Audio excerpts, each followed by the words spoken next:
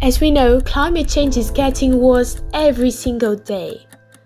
And in this video, we are going to present to you some of its causes and effects.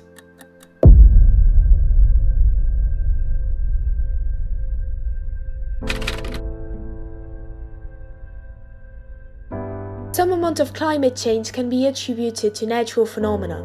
Over the course of Earth's existence, volcanic eruptions, fluctuations in solar radiation, tectonic shifts, and even small changes in our orbit have all had observable effects on planetary warming and cooling patterns.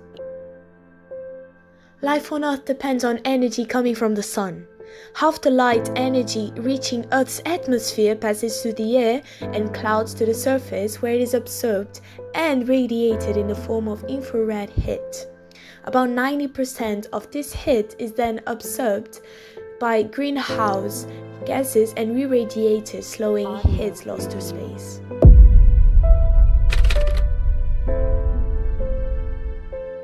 Another way we are injecting more greenhouse gas into the atmosphere is through deforestation. Vegetation and soil store carbon by keeping it at ground level or underground. Through logging and other forms of development, we are cutting down or digging up vegetative biomass and releasing all of its stored carbon into the air. In Canada's boreal forest alone, clear cutting is responsible for releasing more than 25 million metric tons of carbon dioxide into the atmosphere each year.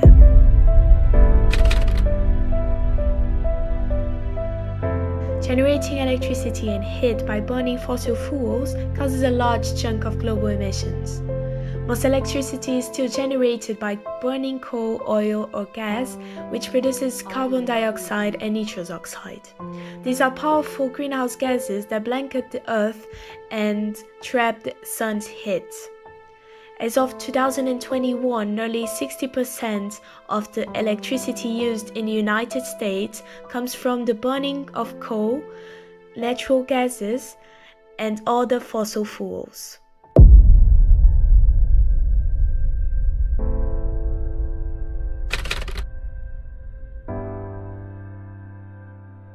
Climate change increases the factors that put and keep people in poverty. Over the past decade, weather related events displaced an estimated 23.1 million people on average each year, leaving many more vulnerable to poverty. Most refugees come from countries that are most vulnerable and least ready to adapt to the impacts of climate change. For example, Ethiopia drought is affecting more than 24 million Ethiopians.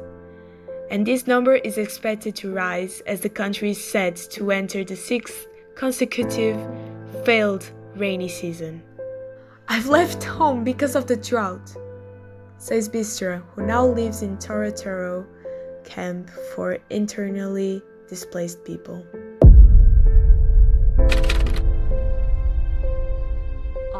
Greenhouse gas concentrations are rising, so is the global surface temperature.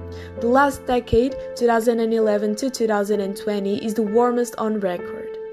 Since the 80s, each decade has been warmer than the previous one. Nearly all land areas are seeing more hot days and heat waves. Higher temperatures increase heat related illness and make working outdoors more difficult. Wildfires start more easily and spread more ah. rapidly when conditions are hotter. Temperatures in the Arctic have warmed at least twice as fast as the global average.